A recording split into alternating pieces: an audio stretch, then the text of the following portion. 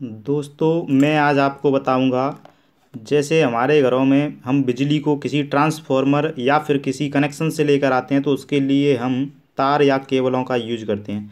तो आपने देखा होगा कि एक केबल में कई पतले पतले तार होते हैं। ये पतले पतले तार होने का क्या कारण है? इनकी जगह पर एक मोटा तार क्यों नहीं लगाया जाता? इसके विषय पर आज हम चर्चा करेंगे। और मैं बताऊँगा आपको कि पतले पतले तार ही क्यों लगाए जाते हैं। तो हम जानते हैं कि हमारे घरों में जो धारा बहती है, उसको प्रत्यावर्ती धारा कहते हैं। या फिर कहें, हमारे घरों में जो यूज़ में धारा ली जाती है, वो प्रत्यावर्ती धारा होती है। अब प्रत्यावर्ती धारा के बारे में मैं आपको बता दूँ एक छोटी सी नॉलेज कि प्रत्यावर्ती धारा तार की सतह पर बहती है। किस पर बहती है? तार की सतह पर बहती है।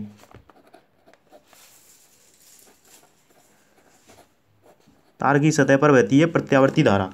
अब तार की सतह पर बहेगी तो ज़्यादा धारा बहने के लिए तार की सतह ज़्यादा होनी चाहिए। अब मान लीजिए ये एक मोटा तार है। अब इसकी सतह ये होगी, इसके चारों तरफ़ की सतह हो जाएगी या नहीं हो जाएगी? ये हो जाएगी सतह। अब हम अगर प्रत्यावर्ती धारा को इसमें फ्लो कराएँगे या बहाएँगे तो इसकी सतह पर बहेगी। तो अब सतह को बहेगी। अब हम इस पत, मोटे तार की जगह कई पतले पतले तार लें या कहें, इसमें से कई पतले पतले तार बना दें तो क्या प्रभाव पड़ेगा? इसको जानने की कोशिश करते हैं। जैसे अगर मैं एक उदाहरण दूँ कि एक, जैसे ये मेरे पास एक बॉल है, अब ये बॉल है, इसका पृष्ठीय क्षेत्रफल इसके चारों तरफ़ का होगा। अब मैं इस बॉल को दो भागों में बांट देता हूँ। जैसे अगर मैं यहाँ से काट दूँ इस बॉल को तो एक इधर का भाग बन जाएगा और एक इधर का भाग बन जाएगा।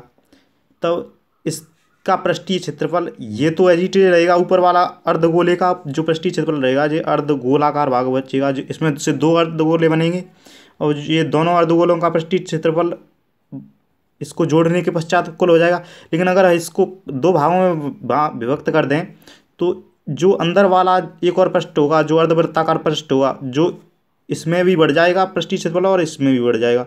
इस प्रकार आप समझ सकते हैं कि किसी चीज़ को एक या एक से अधिक भागों में दो या दो से अधिक भागों में विभक्त करने पर उस चीज़ का पृष्ठीय क्षेत्रफल बढ़ जाता है। इसी प्रकार जैसे हम इस तार को लें, अगर यह तार एक ही होता तो इसका पृष्ठीय क्षेत्रफल कुछ न कुछ होता। अब हम उसी तार में से अनेक पतरे पतरे तार अगर हम बना दें तो उस तार जो पतले पतले तार होंगे, उनका कुल पृष्ठीय क्षेत्रफल, मोटे तार के कुल पृष्ठीय क्षेत्रफल से ज़्यादा होगा। अगर कुल पृष्ठीय क्षेत्रफल ज़्यादा होगा तो तार में ज़्यादा धारा बहेगी। अगर ज़्यादा धारा बहेगी तो हम कम तारों से ही अपने घर पर ज़्यादा बिजली ला सकेंगे। तो उसके लिए पहली बात तो जो धातु के तार हैं, उनकी आवश्यकता ज़्यादा नहीं पड़ेगी। अपेक्षाकृत एक ही तार के, क्योंकि एक ही तार में पहली बात तो धारा कम आ रही है, दूसरी बात धातु की खेप भी ज़्यादा हो रही है, या कहें उसका उपयोग भी ज़्यादा हो रहा है। लेकिन आपको पता है, धातु भी एक सीमित संसाधन है, उसकी भी बचत करनी है और वो भी महँगा आता है। तो इसके लिए हम धातु का कम यूज़ करें और धारा ज़्यादा से ज़्यादा है इसके लिए हम तारों को पतले पतले करते हुए एक केबल में सेट कर देते हैं, जिससे इस इस इन तारों का कुल पृष्ठीय क्षेत्रफल एक मोटे तार की अपेक्षा कुल, के कुल पृष्ठीय क्षेत्रफल से ज़्यादा हो जाता है। इस प्रकार इसमें ज़्यादा धारा आ जाती है। इसीलिए हमारे घरों में जो केबल या डोरियाँ होती हैं, उनमें पतले पतले तार होते हैं। तो आप समझ चुके होंगे कि एक केबल में कितने पतले पतले तारों के होने का कारण क्या है। अगर आपको वीडियो अच्छी लगी हो तो वीडियो को लाइक करें और चैनल को सब्सक्राइब करें। धन्यवाद। और ऐसी ही वीडियो प्राप्त करने के लिए, हमारे से जुड़ने के लिए यूट्यूब चैनल को सब्सक्राइब करें। धन्यवाद।